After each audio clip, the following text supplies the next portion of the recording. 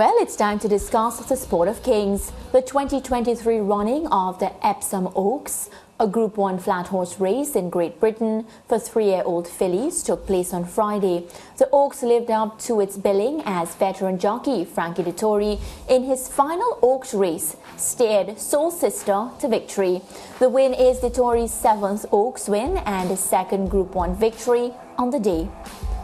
So, Lance, this is his swan song year in the saddle. Should he reconsider his retirement? I'm not thinking so. He's 52 years old and he has done everything as far as a jockey is concerned that jockeys aspire to achieve. He has won big races all over the world. Every continent he has won big races on. And um, if he decides that this is his last year, even though I understand the question because he's having so much success, there could be a temptation for him for him to change his mind. But I would I would think that he would not change his mind. Well, speaking after the win, he was asked about you know how he continues to reap all these successes, and he said it's mental, and I felt that stood out for me mm. because he says you know it's more about his mind and being prepared and whatnot than yeah just execution. Yeah, but the thing is, he has so much experience and confidence and know-how as a reinsman that he really has no equal at the moment. We remember George Davis flour, um, flourishing praises on him day favorite, after day right? on, yeah, by far. And um, if you looked at how he won the race today, he had to go to a plan B because when the horses came out of the starting gates, he was slowly out. And um, he didn't he that wasn't the race plan. The race plan was for him to be close to the lead. There he's at the back in the red or burgundy silks on the outside right. slowly coming forward because he had been outpaced which wasn't the plan. He should have been closer. But by the time they got here it was obvious that he was picking up the pace. picking up the pace and, and was going to win here because if you look at his movements in the saddle there in the red silks he's doing a lot less than the jockeys in front of him are doing. Ryan Moore, who is aboard the favourite Save the Last Dance, has already gone for his whip left-handed, and uh, the jockeys are pumping a lot harder than he is. So we're approaching the furlong pole here, and the Dettori doesn't start really riding hard until this point. Yes. Which tells you that he knew that he had a lot of horse under him. So um, this is a quality rider that you know you don't. These riders don't appear. Um, you know, every every day. He's a special, special, special talent, and to be 52 years old and having the kind of success that he's still having tells you a lot about his quality. And I think this win reminds us of the importance of experience because another rider at the back of the field would start to panic. Yes. And that goes back to what you said about yeah. taking out the whip and yeah. going harder, yeah. and things could just end up chaotic. Yeah. But Frankie Dettori, who has done this so many times before, I mean, it's his seventh Oaks win. Yeah. Just he, you know, he relaxed and he allowed the horse to do what he knows the horse can do, and it comes back also to the relationship between the jockey and the horse. Yeah, knows the horse well, and um, he has had so many successes with trainer John Gosden, and um, today was just another fabulous day for for Frankie Dettori. He won two Group Group One races today because he won the Coronation Cup about Emily Upjohn, and um, just had two major wins today in the space of a couple of hours. All right, well, congrats again. But speaking of Frankie Dettori, he'll be in action in the Derby on Saturday, riding the favorite, Arrest Lance in his swan song year, he could leave the Epsom racing with a famous double of the Oaks and Derby. But the question is, can he get it done? Obviously, he can. Um. The odds at the moment are suggesting that he is one of the fancied horses going in. Um, I think we have a quick look at the odds for this event, and Arrest is a joint favourite with uh, August, August Rodin, yeah. who was a very disappointing unplaced finisher in the Guineas earlier on this month, or last month it was, it was yeah. early May. Um, but Ryan Moore's Mount August Rodin is at 7 to 2 along with Arrest, so they are joint favourites at the moment. But based on Dettori's experience, class, and the ability of Arrest, who won at Chester over the Derby trip a couple of weeks ago, um, he's on a good ride here and he could easily well complete the, the Oaks and Derby double. And it would be a great way to end the Oaks because, as we said, he's getting ready for retirement and you know, we, we may not see him again, which will be very sad for George because he loves him. but yeah, top stuff from him. We're yeah. going to well, continue. the British flat racing season will go on until later this year, but obviously he's going to ride at the Breeders' Cup and so on in November. But he has said that after 2023 he's done. Yeah.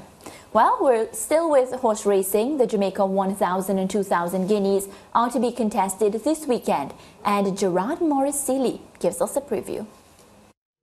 With the prep events now a matter of history, racing from Caymanas Park is set to hit another gear with the official start of the classic season. On Saturday, 12 of the island's best native bred three year old fillies will compete in the 49th edition of the 1000 Guineas. Meanwhile, on Sunday, a 12 horse field will line up for this year's edition of the 2000 Guineas. The two Grade 1 events will be contested over a mile or 1600 meters for a purse of 3.7 million Jamaican dollars or approximately 24,000 US dollars. Champion trainer Jason DaCosta will have six entries from a field of 12 in the 1,000 Guineas. Talita, winner of the Portmore Stakes, and Mamma Mia, who was the runner-up, are his two most fancied entries. Well, out of the six entries I have, um, Mamma Mia and Talita are the, are the two that are working best. There were one, two in the um, in the Portmore, and um, they've had a pretty smooth preparation coming into this race. So I'm, uh, I'm expecting um, good runs out of, out of both. We're coming down to the 1,000 guineas and Mamma Mia and the groom. I don't know she get beaten at the Portmore State by Talita and two of them training well coming down.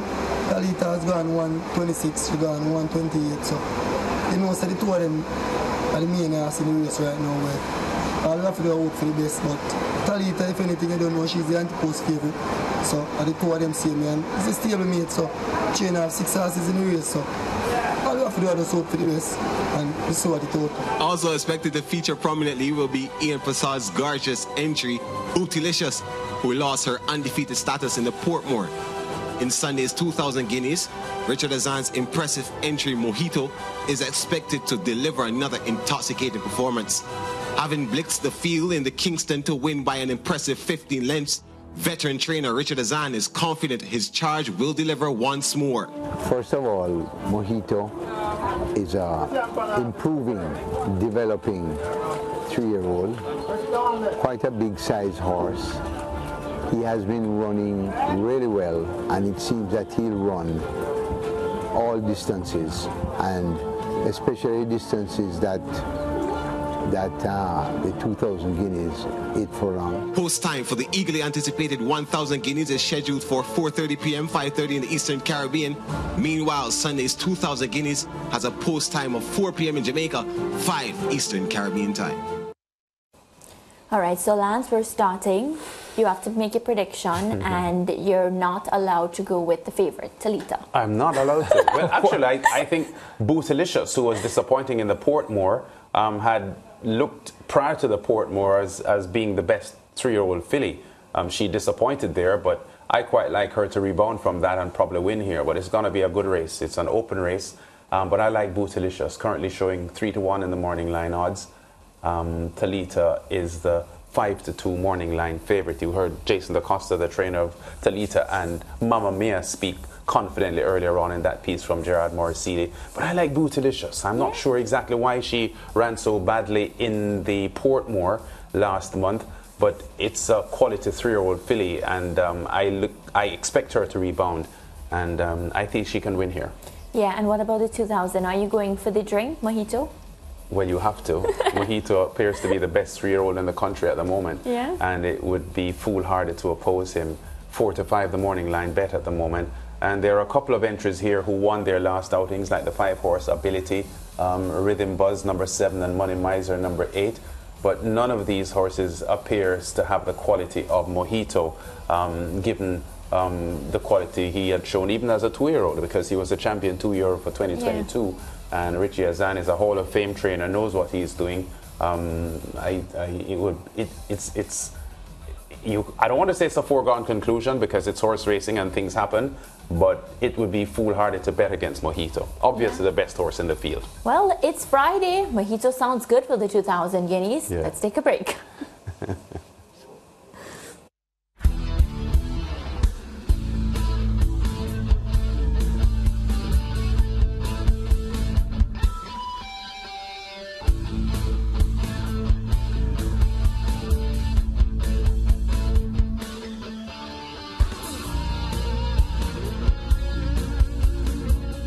Stay with Sportsmax on YouTube and follow us on all social pages for updates, news, and entertainment.